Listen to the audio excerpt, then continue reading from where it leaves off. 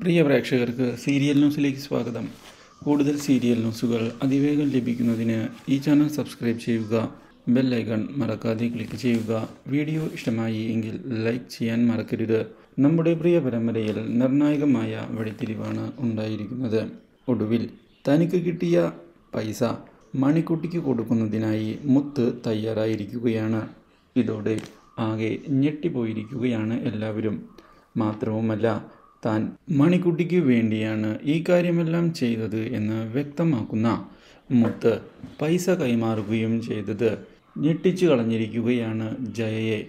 കാര്യങ്ങൾ കൈവിട്ടു പോവുകയാണ് എന്ന് ഇതേ തുടർന്ന് മനസ്സിലാക്കുന്ന ജയ ഈ കാര്യങ്ങൾ സംസാരിക്കുന്നതിന് മുത്തിന്റെ അടുത്തേക്ക് ചെല്ലുന്നുവെങ്കിലും മുത്ത് താനെടുത്ത തീരുമാനത്തിൽ ഉറച്ച് നിൽക്കുകയാണ് എന്ന് വ്യക്തമാക്കിയിരിക്കുകയാണ്. അപ്രതീക്ഷിതമായ ഈ കാര്യം കൃഷ്ണയെയും ഞെട്ടിച്ച് കളയുന്നു. ഒരിക്കലും.